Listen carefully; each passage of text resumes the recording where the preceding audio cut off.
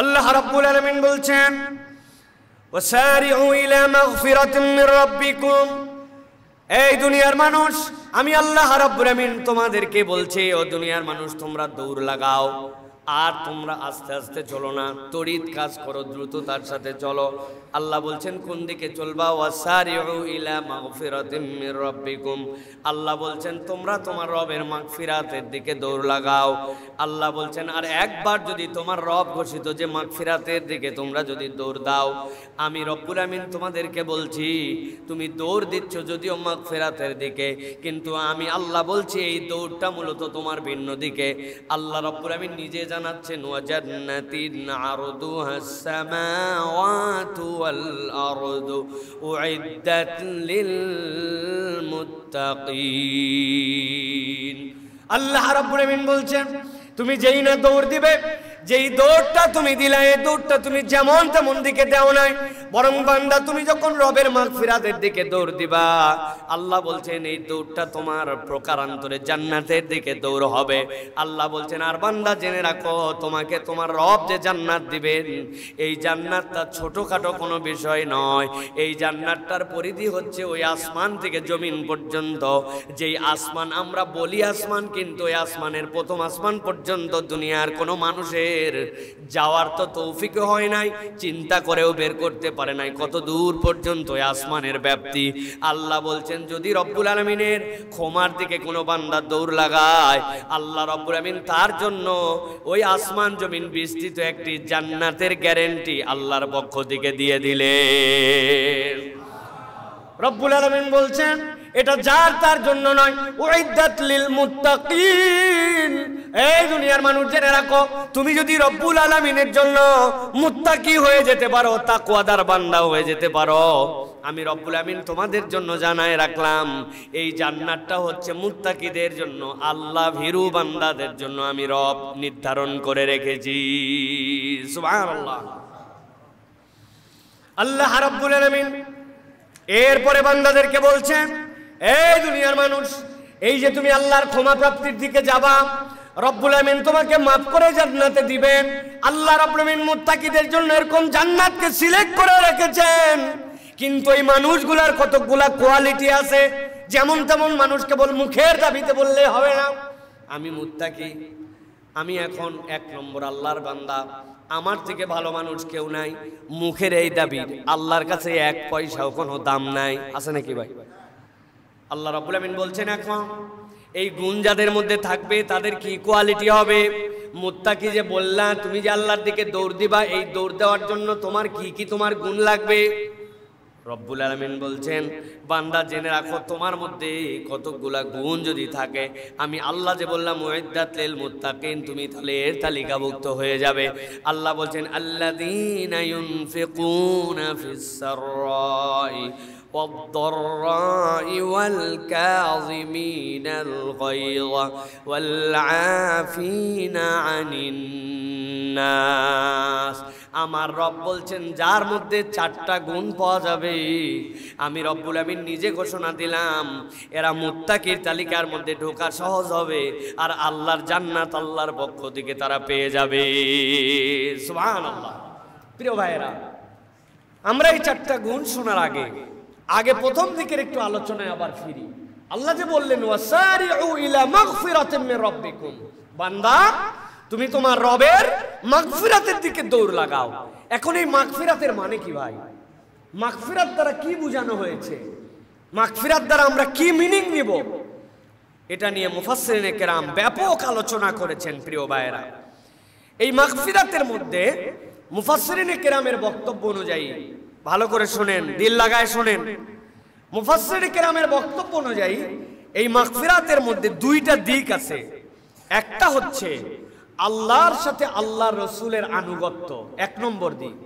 আর দুই নম্বর, কিছু গুণাবলীর দ্বারা প্রমাণ করতে হবে যে আমি মুখেই কেবল এইটা চাই না, বরং আমার আচরণে, আমলে এটার প্রমাণও আমি দিতে চাই। তাহলে মাগফিরাতের মধ্যে দুইটা দিক আছে। একটা আল্লাহর সাথে আল্লাহর রসুলের আনুগত্য।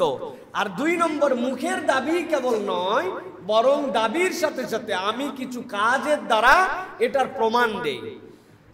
এই দুটি কথার আলোকে মুফাসরিন কেরাম ব্যাখ্যা করছেন যে মাগফিরাতের মানে কি? এখানে এমন সব সৎকর্ম যার দ্বারা ক্ষমা লাভ হয়। কি কি আমলের দ্বারা ক্ষমা লাভ হয়? আল্লাহ যে বলেন ওয়াসারি ওইলা মাগফিরা এর দ্বারা আল্লাহ কোন দিকে বান্দাকে ডেকেছেন? হযরত আলী রাদিয়াল্লাহু তাআলা বলছেন, মূলত আল্লাহ রাব্বুল আলামিন বলেছেন ওয়াসারি ইলা মাগফিরা তুমি আল্লাহর ক্ষমার দিকে আসো, এর মানে হচ্ছে তুমি আল্লাহর দেওয়া কর্তব্য যা যা তোমার উপরে আসে ওই কর্তব্য পালনের দিকে ধাবিত হও।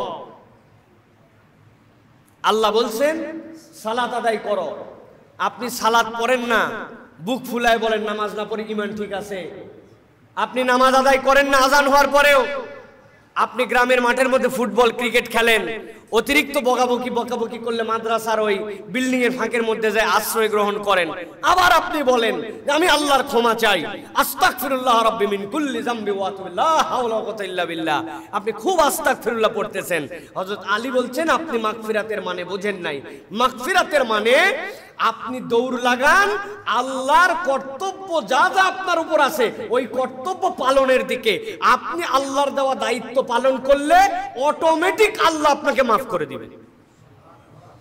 দুই নম্বরে, হযরত ইবনে আব্বাস রাদিয়াল্লাহু তাআলা বলছেন, ওয়াসারিউ ইলা মাগফিরাতিন, আই ওয়াসারিউ ইলাল ইসলাম। হযরত ইবনে আব্বাস বলছেন, মাগফিরা মানে এখানে ইসলাম। আল্লাহ বুঝাতে চান, ও আমার বান্দা, তুমি ইসলামের দিকে দৌড় লাগাও। আর তুমি যদি ইসলামের দিকে দৌড় লাগাও, ওয়া জান্নাতিন আরদুহাস সামাওয়াতু ওয়াল আরদ, তোমার ইসলামই তোমার জান্নাতে যাওয়ার জন্য যথেষ্ট হবে, সুবহানাল্লাহ বিহাম তিন নম্বরে, হযরত দাহাক বলতেছেন, এই সারিউ ইলা মাগফিরা, আই সারিউ ইলাল জিহাদ। এই বান্দা, তুমি আল্লাহর দেওয়া প্রচেষ্টার দিকে, জিহাদের দিকে দৌড় লাগাও। তোমার জিহাদ তোমার জন্য এমন মর্যাদা কর যে ওই জিহাদ তোমাকে ক্ষমা এনে দিবে। ওই জিহাদ তোমার জন্য যে জান্নাতে যাওয়ার কারণ হবে। হজরতে ইকরেমা বলতেছেন রদি আল্লাহ তালানহু আল্লাহ রাব্বুল আমিন মূলত এই মাগফিরাত দ্বারা বুঝাতে চান, ওয়াসারিউ ইলা তাওবাহ যে তুমি তওবার দিকে যাও। তওবা মানে কি?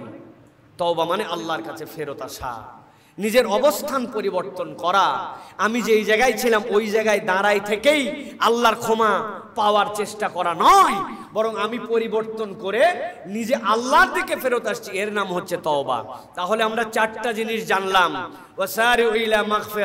এর মানে চারটা জিনিস আমাদের। এর মধ্যেই আমাদের চারটা, প্রত্যেকটা প্রত্যেকটা সম্পূরক। হযরত আলী রাদিয়াল্লাহু তাআলা কি বলছেন? যে তোমার জন্য মাগফিরা মানে কর্তব্য পালনের দিকে যাও। হজরত ইবনে আব্বাস বলছেন, ইসলামের দিকে যাও। হজরত দাহাক বলছেন, জিহাদের দিকে যাও। হজরতে ইকরেমা রাদিয়াল্লাহু তাআলা বলছেন, তুমি তওবার পথে যাও। তাহলে ওয়াসারিউ ইলা মাগফিরা, আই ইলা তাওবা, ইলাল জিহাদ, ইলাল ইসলাম। তুমি যখন এই রাস্তায় দ্রুততার সাথে যাবে, অন্য মত, পথ সব কিছু রেখে দিয়ে আল্লাহ রাব্বুল আমিন বলছেন, তখন রব্বুল আলামিন তোমার জন্য জান্নাতের ব্যবস্থা করবেন। আর আল্লাহ বলছেন, এই জান্নাত তো উইদ্দাত লিল মুত্তাকিন। মুত্তাকিদের জন্যই আমি রব্বুল আলামিন সংরক্ষিত রেখেছি। সুবহানাল্লাহ বিহামদিহি এখন বলেন যে আমরা যদি আল্লাহর ক্ষমা পেতে চাই, তাহলে কি আমাদের অবস্থান পরিবর্তন করতে হবে? নাকি আমি যেখানে ছিলাম, ওখানে থেকেই আল্লাহর ক্ষমার জন্য? কি মনে করেন? মানে আমি দাড়ি কাটা মুসলমান ছিলাম, দাড়ি কাটাই থাকবে আমার। আমি সুদ করছিলাম সুদ করি থাকব। মিথ্যা কথা বলতাম মৃত্যু কি থাকব। আমি আল্লাহর দিকে আজান হতো, নামাজ পড়তাম না, আমি বেনামাজিই থাকব। আমার বউ পর্দা করতো না, আমি বেপর্দা বউই রাখব। আমার সাথে ইসলামের সম্পর্ক নাই। আল্লাহ আল্লাহর দিনের পক্ষে, ইসলামের আইন কানুন প্রতিষ্ঠার পক্ষে কথা বললে আপনি বিরোধিতা করেন, আবার নিজেকে মুসলমান পরিচয় দেন। এরা হচ্ছে দুই নম্বর, এরা কখনো এক নম্বর মুসলমান হতে পারে না। ঠিক কিনা? ভালো করে নিজের অবস্থান পরিষ্কার করেন। এই জন্য আল্লাহ রাব্বুল আমিন আপনাকে, আমাকে বলছেন, বান্দা, তোমাদের জন্য আমি দায়িত্ব দিলাম যে আমি রব্বুল আলামিন তোমাদেরকে দেখতে চাই। কি দেখতে চাই? যে আমি রব্বুল আমিন তোমাদেরকে জান্নাতের পথে তোমাদেরকে দেখতে চাই। আল্লাহ রাব্বুল আমিন এবার বলছেন যে, এই যে তোমার জন্য জান্নাতের দিকে আসলে, এখন আসার পরে তুমি যেরকমই হও, মানুষ হিসাবে সকলে একরকম নয়। মানুষ হিসাবে সকলে একরকম ভাই। কথাগুলি ভালো করে বোঝেন।